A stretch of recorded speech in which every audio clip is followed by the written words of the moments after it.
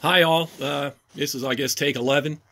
Uh, the purpose of this video is to show you how to uh, set up the uh, uh, cam position sensor timing in relationship to the crank position sensor timing.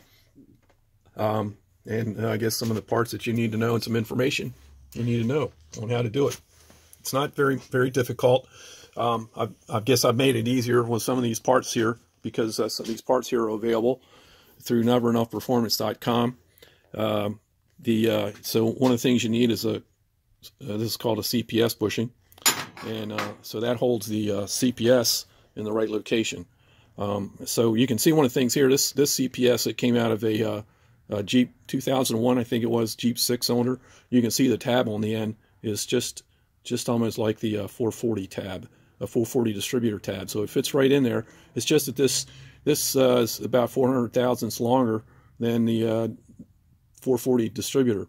Um, so you need, and it's also, you can see it's a smaller, smaller diameter here.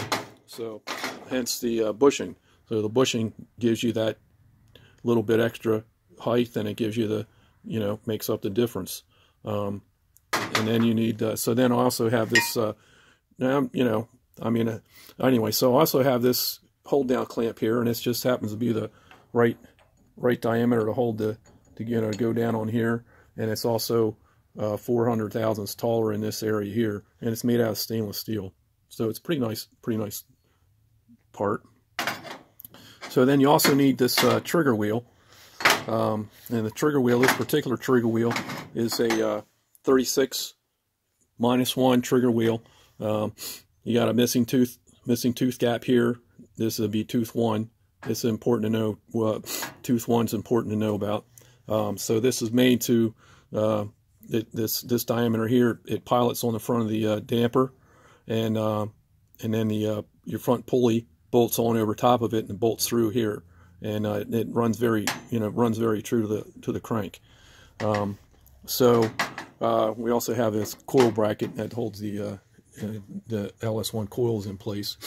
Um, okay, so um, so yeah.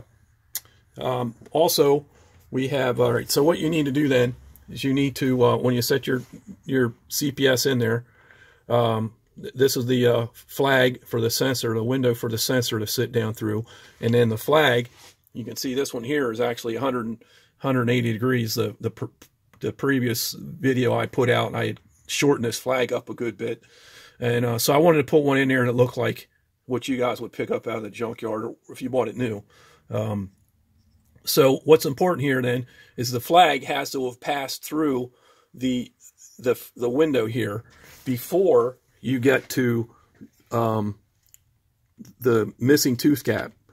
Um, and that that what that's doing is it's telling the ECU what rotation of the motor the crank is on. Um, so if it, it, shows up before the missing tooth gap, the missing tooth gap, it shows up before that. And uh, so you're going to have cylinder cylinder one, the valves are the, the valves are closed on cylinder one. And uh, so you're coming up on the, uh, so it, the, the flag, the flag passes through the, through the window here before, you know, I, I'm at, actually, you can see I'm actually have already passed where I'm at sitting right now. Um, Come on, light, help me out here. You can see I've already, the missing tooth gap has already passed the sensor and I'm sitting in front of tooth one. Um, and the uh, flag, it's it's almost halfway through the through the through the gap here. All right, So that's kind of like your main your you know your setup is your setup. And then once you set this up, you never adjust the timing with this with the CPS. This is just a rough this is just a rough setting for, for the uh, ECU timing. Um, so you'll never adjust the timing here again once you have this installed. So you don't have to reach in there and you know whatever. It's, it makes things makes life so much easier. All right, so then you have your, you know, you're set up your missing tooth gap, your your tooth one. So then the next thing it's you need to know is on your uh, damper, uh, you have to have an aluminum damper with this setup. I'm using a Hall sensor. The sensor itself is magnetic, uh, so it doesn't like a steel damper. um, because it, it needs to, it, that's what the trigger wheel does because of the teeth. It turns the, turns the sensor on and off. And if the damper is sitting like right, you know, if the damper is sitting right, right behind it, the same diameter, it never sees the, uh, the wheel, the wheel turning on and off. So that's why you want to use a, uh, you want to use a, uh, aluminum damper, um, with this setup.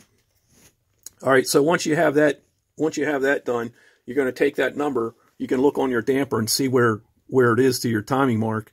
Uh, you know the the uh, your top dead center mark on the on the um, timing cover.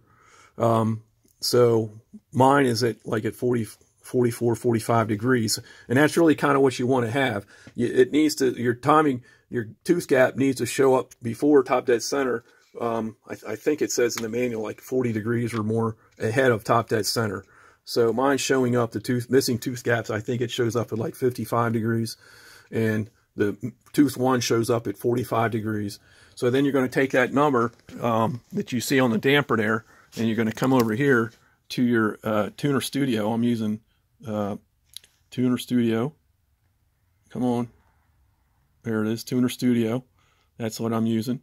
And um, so then you're going to go here to the Ignition Settings tab, and then you're going to look for this ignition options wheel decoder and you're going to come down here to this setting here um, this one right here you see it says 44 degrees there so that's your tooth one angle so this is this is based kind of like a rough this number here adjusts the relationship of your engine to your timing table um, once you have this number set here correctly then you're going to set your timing. You're going to always adjust your timing here with this ignition table one. Um, so whatever number you have here, so so say let's say you are uh, you know you're idling and you're maybe uh, you know maybe you're at 800 RPM. I don't know what kind of cam you're running, but I'm kind of running a little bit of an aggressive cam and it idles. I've got it idling about a thousand RPM, so um, so you might be running it maybe 60 kPa. Um, and uh, if you're running at 40 degrees, all right, so maybe you're running at 40 degrees, and uh, maybe you're running at 12 degrees, or whatever you have it set up. But that's how I have my motor set up. Um, you know, it's it, it, might look like a strange number to you, but um, I kind of like the way it, it runs, it idles at that, and uh, just looking at the EGTs and so forth. Kind of, I'm just learning. I'm learning some, a lot of stuff, and I just put a EGT sensors on the on the engine, so I'm kind of fooling around with it, you know, from that standpoint, looking at uh, timing as opposed with the EGT. So that's why that number's in there, kind of weird looking. But whatever it is, uh, this number is. If it's if you have 12 in there, if you have 20, maybe you got six or seven, whatever it is, you're going to look over here. You're going to start your engine up, and you're going to um, look at your timing mark. And if it says if it says you're if you have timing, maybe you have uh, 12 degrees in your table, and and it says here you're at 15, then you're going to come over, come back over here to to your to this uh, to this uh, table here to your tooth one angle, and you're going to adjust that number by three degrees to make your timing table look right. So the timing table looks like what you're seeing on your engine. Once you have that set up, then you're done. You can adjust all your timing from the timing table. So all the timing from then, then on is timing table. You don't ever have to get under the hood. You can just look at that and make adjustments. Um, all right, so that's that's important. And then one of the other things you want to do is even before you start your engine up, you pull all your spark plugs out, pull all the spark plugs out except for cylinder one. Leave cylinder one in, put your timing light on, put your timing light on there, uh, turn your turn your fuel off, and then uh, you can crank the engine over and you listen for the compression stroke coming up. You hear the compression stroke, and you should see the flash of the timing light. And if you have it, if it shows up at the right time, you know your time and your relationship between the CPS and the trigger wheel is set up correctly. And then you can even look at your uh, timing and uh, when it's flashing, and you can see what that timing actually is and compare it to the table on the laptop. And then, uh, you know, so then uh, there you go. Uh, let me see. I don't know if I'm thinking. Uh, stop for a think. I'm going to put you on pause for a second and see if I forgot anything.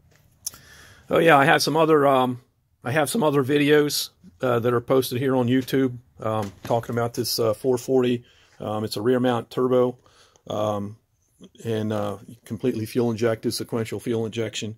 And uh, so there's a few other videos there, and I intend to tend to post some others in the future. So uh, you know, if you're interested in looking at them uh, or finding some more information about this, you know, what we're doing here, um, you know, even if you want to contact us, uh, neverenoughperformance.com and uh, you can find my you know contact information there. So all right. So anyway, everybody, uh, thanks for listening and uh, uh, have a good day. Bye.